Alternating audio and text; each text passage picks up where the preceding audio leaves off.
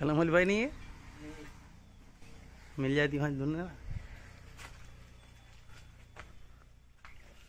फटा खोलना अंदर जाके। फटा खोलना। मामा खजाना है अंदर। चुरा देंगे बोलेंगे क्या मामा?